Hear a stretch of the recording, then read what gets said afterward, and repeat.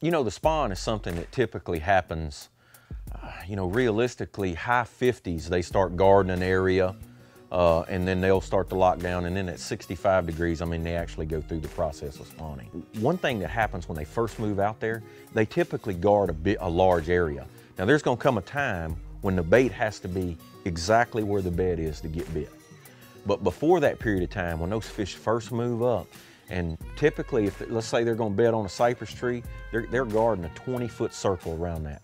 You know, when that happens, I, I, really like swimming a jig, using a swim jig more. If the water's warming up, even a frog, something they're attracted to, a spinner bait, a moving bait. Because the deal is, they may not be exactly on that target at that period of time, but they're somewhere in that zone around it, guarding. So they'll chase. So I want something I can swim, but I'm not fishing it on the bottom. I'm swimming it past that cover.